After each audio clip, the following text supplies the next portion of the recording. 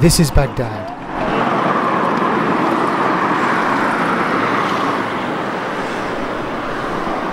All of this.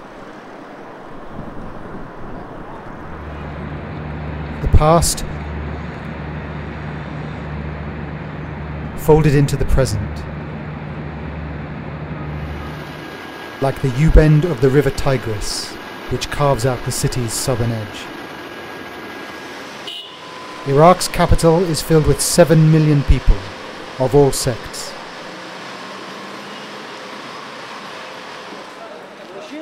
Sunnis, Shiites, Kurds, Yazidis, Turkmen, Christians.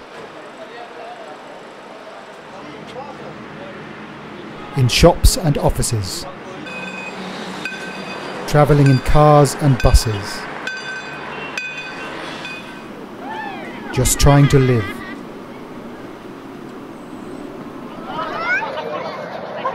Iraq's government and foreign diplomats are based in the high security green zone. Ordinary Iraqis live in the red zone, as do we. Sunnis have been here for centuries. But Shiites are now the majority. Oil is a major focus, of course. And water, in the area known through history as Mesopotamia, the land of the two rivers.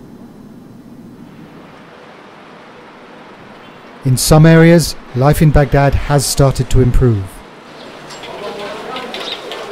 But nearly five years after the war started, electricity is often non-existent.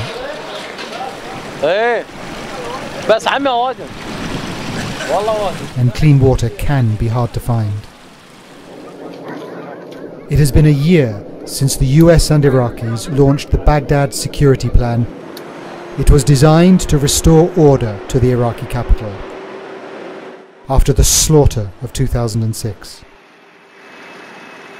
Baghdad is safer now, but not safe. The ever-present threat of bombers is always here, even in Karada, one of the best parts of the city. Barriers and gates are everywhere. The date palm tree, once a rich fruit of the Tigris and Euphrates, now its trunk is a poor man's blast wall.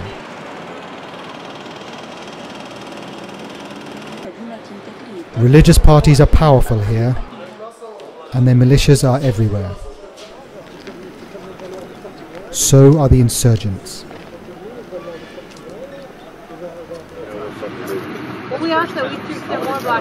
Opinions about the presence of US troops differ here as much as they do in America.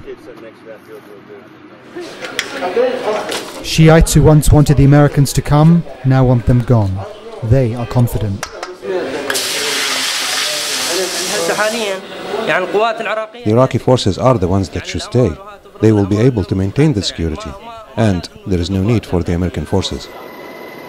And Sunnis who once fought against US troops now jump out of American helicopters to help them hunt down other Sunnis. Yesterday's insurgents hunting down today's insurgents. Plenty of grey area here.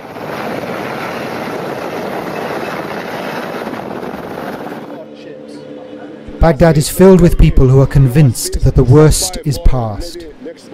To start to be better because you know because the, all the people of Iraq Sunni Shia Kurdish Turkish Turkmenish all start to be understand understand what they must be do okay and yet also their neighbors, who think the worst is yet to come.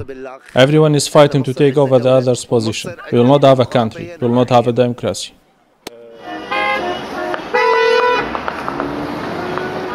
And just a few miles away can seem like another planet. In South Baghdad, on the highway past Dora, a gun battle spills over into the morning rush hour. Bullets fly overhead. And closer.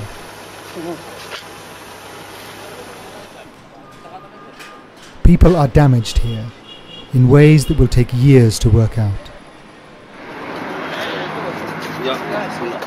In East Baghdad, two children in Zayuna neighborhood enjoy the holiday of Eid al-Adha. The brother, his eyes smiling at the camera, enjoys a rare day out. But his sister's eyes reflect the violence she has seen. Why is she scared? There was an explosion one day and she started to be afraid of everything.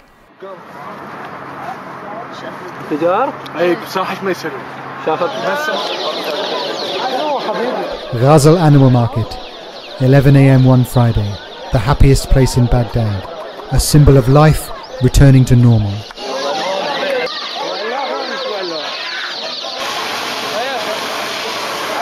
Ghazal at noon the following Friday, the worst place in the world, now a symbol of things creeping back to disaster.